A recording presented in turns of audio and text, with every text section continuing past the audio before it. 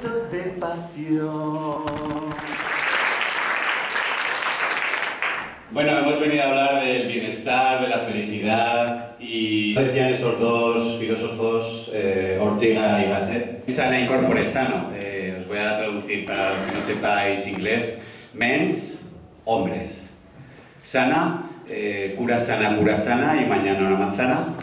Incorpore, incorporado o con muchos poros. Incorpore. Sano es sano, que esa no la cojas, que eso es malo. Tiene que expandir más el amor. Y la propia palabra ya lo dicta. Los A de ah, ah, hay que expandir el amor. Ah. M de mm, O de oh. Y la R. Y es que nos estamos preocupando demasiado por el dinero, por el amor. El otro día un amigo mío eh, fue a un japonés y me dijo, me, pusieron una tortilla, unas papas bravas, un vino tinto. Digo, pero eso no es un japonés. Y dice, sí, cuando me trajeron el ticket me tuve que hacer el harakiri. Bueno, yo una vez fui al médico, eh, le dije que, pues eso, que tenía 15 años y que lo iba a tener durante todo un año, que si eso era muy grave. Y me dijo, pues sí, tiene pintas de que esto va a ser muy grave, pero la juventud se cura con la edad. Aún así te voy a enviar al especialista, me dijo. Entonces el especialista me diagnosticó gilipollez profunda y me recetó un par de hostias cada ocho horas. Pues venía un practicante, antes eh, te ponía la inyección en el culo. Pues este venía a darme las dos hostias y me hacía... Y desde entonces puedo ver un partido de tenis perfectamente. Los plátanos tienen triptofano, entonces eleva los estados basales de, las, de serotonina. Ya los monos, por eso se están deshuevando todo el día, toman mucho. Eh, Venga, ¿quién tiene hambrecicos? Hay una especie dentro de los monos que se llaman los bonobos. Y los bonobos, eh, cuando tienen algún conflicto en la manada, eh, toda esa agresividad la canalizan a través de- del amor, también del sexo. Y yo creo que tendríamos que aprender un poco de los bonobos. Por ejemplo, cuando te dice uno, oye tú, que me debes 50 euros. No te preocupes, toma 30 y vete bajándote los pantalones, que te doy el resto. Vamos demasiado a los bares. ¿eh? Y entonces el otro día yo fui al bar y le dije, una caña. Dice, depresión. Digo, no, alcoholismo. Bueno, y es que realmente nos tenemos que cuidar la dieta. Yo, por ejemplo, soy vegano. Eh, que soy de Las Vegas, vamos. En serio, sí, eh, soy vegano. eh, lo que pasa es que soy vegetariano independiente. ¿Esto qué significa? Que cuando ponen jamón de 5 jotas gratis, me lo como. Porque una cosa es ser vegetariano y otra gilipollas, ¿no? Diría, eh, creo que tenemos que cuidar el medio ambiente. Pero yo me hago una pregunta. ¿Qué pasa con el otro medio? Bueno, es que realmente estamos perdiendo esa empatía, tenemos que ser más amables con la gente. Eh, os voy a contar una fábula, a ver si con la simbología lo, lo pilláis, lo captáis. Érase, hola niñitos y niñitas, érase una vez un conejito que estaba por ahí merodeando debajo de un árbol. Y había un pajarito allí encima del nido y empezó a llover y a llover y a llover.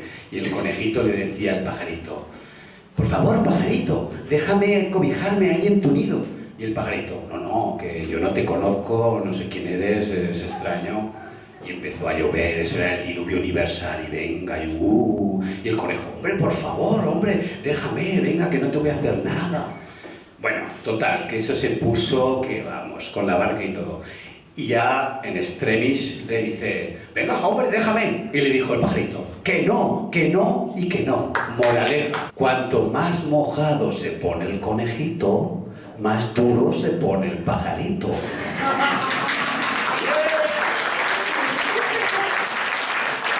Y necesitamos más poesía en nuestra vida. Ya, ya Cocteau decía que, que la poesía es indispensable para la vida, pero se hacía una última pregunta que decía, aunque no sé para qué, pero yo os voy a dar la conclusión.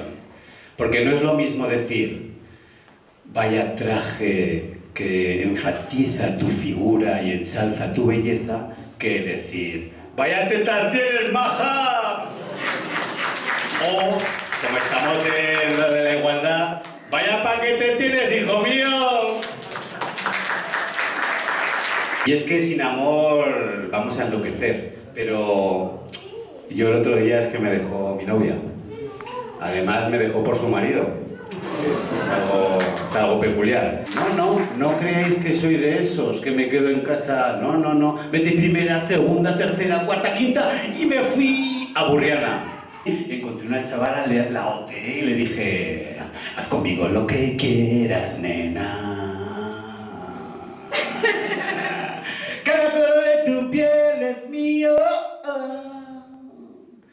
Y es que ella, ella, ella, ella, ella es un volcán. Muy bien. No hay nadie de las GAE, ¿no? Porque si no nos va a crujir. Esto es el recopilatorio de la unión. Fue un tainted love, fue falso amor. Pam, pam, pam, pam. Porque la vi con otro chaval o con otra chica. Porque ahora hay que hacer todo igualdad y tal. ¿Y por qué? Entonces cuando la vi con otro le dije, fueron los celos y no yo. Y realmente es que, sin amor, yo voy a enloquecer. sin amor.